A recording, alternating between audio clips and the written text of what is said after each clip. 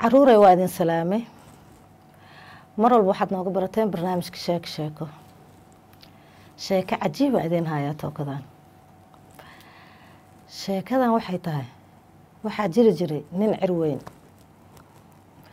Ninkaas cirka weyn magaalada dhancaan ayuu ka ahaa.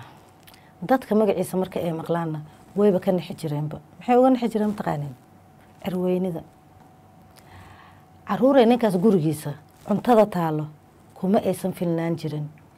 Wuxuu jeclaa mar walba cidaha kale inuu ku wareego ama dadka kale inuu wax ka soo cuno ninkii maalin maalmaha ka mid waxaa dhacday inuu safar aado wuu safray. Ninkii markuu safray wuxuu u martiyey nin deeqsi ah. Ninkii deeqsiga ahaa wuxuu soo dhaweeyey ninkii cirka weynaa. Aada buu soo dhaweeyey wuxuu ku martisooray afar nin raashinkii ay cuni lahaayeen. Ninkii wuu cunay wuu dhameeyey. Wuxuu u yimid ninkii deeqsiga ahaa wuxuu yihi saaxiibo ayaantan waa xanuunsanaha aniga waxba ma cuni karo. Calooshaa leega qabtaa. Waxaan rabaa inaan u tago nin mudaawaadka sameeyo daawo soomaaliga si uu iisoo daaweeyo. Cuntada dhadhanba iima lahan wax fiican ma cuni karo. Hadda afar nin waxay cuni lahayn oo cuno keligiis. Ninkii deeqsiga ahaa wuu naxay.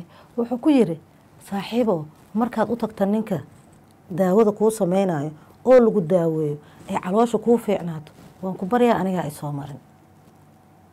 Muxuu ka cabsanaya ninka deeqsiga ah inuu mar labaad u soo laabto oo haddana afar nin sadkooda cunee ugu yaraan sideed nin sadkooda inuu ka cuno. Marka caruurey ninkii wuu baxay. Sheekadaas idinka maxaydin baraysaa? In aysan wanaagsaneen cirweynida. Qof walbo bini aadanan waxaa u wanaagsan. Waxa uu haysto inuu isku filnaysiiyo ee deeqaan uusan raadsan wax qof kale leeyahay